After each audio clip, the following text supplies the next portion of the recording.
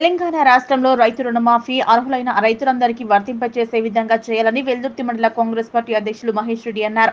TRS ప్రభుత్వం అధికారంలోకి రాగానే రైతులందరికీ ఏకకాలంలో లక్ష రూపాయల రుణమాఫీ చేస్తామని హామీ ఇచ్చి తొమ్మిది సంవత్సరాల రుణమాఫీ చేయడంతో ఇప్పుడే ఇచ్చే రుణమాఫీ వడ్డీలకి సరిపోతుందని ఆయన అన్నారు. అలా కాకుండా అందరికీ లక్ష రూపాయల రుణమాఫీ ఇవ్వాలని ఆయన అన్నారు. రెండోసారి అధికారంలోకి వచ్చినటువంటి టీఆర్ఎస్ ప్రభుత్వం ఏకకాలంలో రుణమాఫీ చేస్తామని అధికారంలోకి వచ్చి తర్వాత ప్రజా హామీలను మర్చిపోయినటువంటి టీఆర్ఎస్ ప్రభుత్వం. ఇప్పుడు ఎలక్షన్లు దగ్గరకు వచ్చినాయి.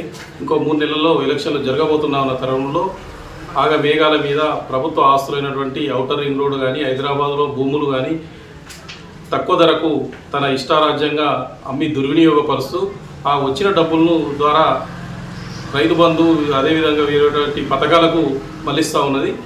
అటువంటి సందర్భంలో ఈరోజు తొంభై తొమ్మిది వేల తొమ్మిది వందల తొంభై తొమ్మిది రూపాయల వరకు మాత్రమే రుణమాఫీ చేసినట్టు ప్రకటనలు వచ్చినాయి.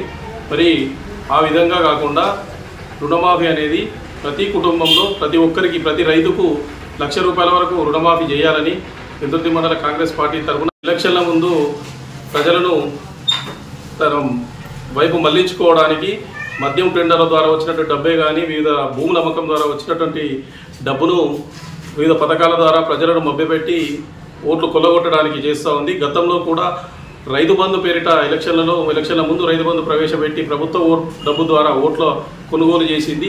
ఇప్పుడు కూడా పథకాలు ప్రవేశపెట్టి అధికారంలోకి రావాలని ఒక దుర్బుద్ధితో చేస్తున్నటువంటి కార్యక్రమంగా కనబడతా ఉంది. ఆ విధంగా కాకుండా ప్రభుత్వాలు ఆదాయ వనరులు పెంచుకొని పథకాలు ప్రవేశపెట్టాలి సంక్షేమం ప్రజలకు అందించాలి కానీ ప్రజల ఆస్తులను తక్కువ ధరకు అమ్మి దుర్వినియోగపరచొద్దని పెద్దుర్తి మండల కాంగ్రెస్ పార్టీ తరఫున కోరుతున్నాం.